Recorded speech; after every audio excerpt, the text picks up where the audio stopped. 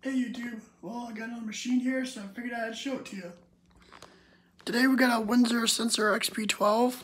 Uh, this thing I bought to uh, fix and clean up off of eBay for a little over 100 bucks, uh, which is not too bad really. Got a um, brush roll indicator lights, brush check light and full bag indicator. Uh, yeah, for what it is, a commercial vacuum, uh, this thing's in pretty nice shape. The hose is in nice shape. The handle came with the um, crevice tool and the upholstery tool. I do still need to clean this up a little bit, but uh, it's in really nice shape, like I say. And this little knob here is uh, if you flip this over to the left, that little um, yellow looking knob there, you're able to tilt this up and move across thresholds and whatnot. You move that uh, little yellow knob to all the way to the right, and you can lay this thing down flat and get underneath uh, chairs and beds and whatever else.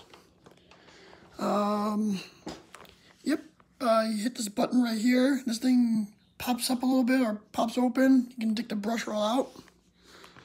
Uh, I do have a new filter and bags coming for it, and I know I need to clean that out a little bit more.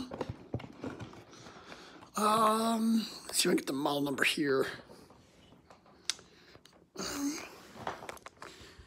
As I probably stated before, I can't, I don't know if I told you guys, but I got a new brush roll coming too, as well as a bag and belt. And I need to get a new uh, squeegee or seal or whatever this part is right here. Um, it is the Sensor XP12. The serial number is U59121268. Uh, yep, it's got a little uh, door there. You can open that up and um, take the clog out if need be. But yeah, I always wanted one of these uh, Windsors, and now I finally got one, so I'm really happy with it. Well, you YouTube, that's all for now. I'll talk to y'all later.